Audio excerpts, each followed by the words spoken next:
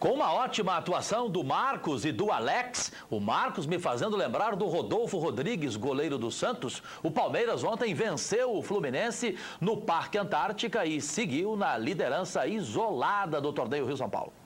O Fluminense tem a chance de sair na frente. Flávio é derrubado na área. Pênalti.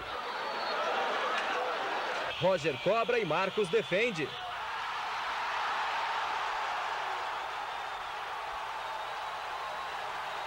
O Palmeiras responde. Arce cruza da direita e Itamar faz 1 a 0.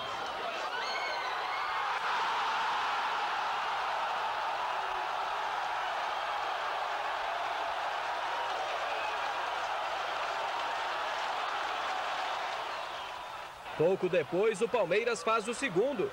Alex, de cabeça, 2 a 0.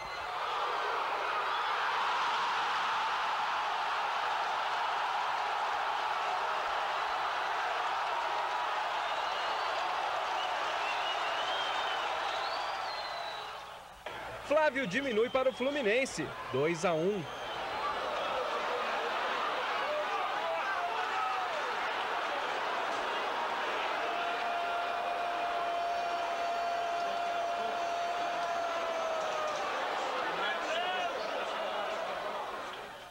E Magno Alves empata o jogo, 2 a 2.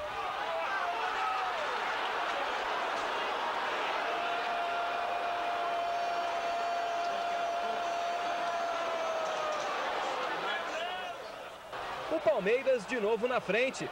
No cruzamento de Itamar, Alex faz mais um. O segundo dele no jogo, o segundo de cabeça.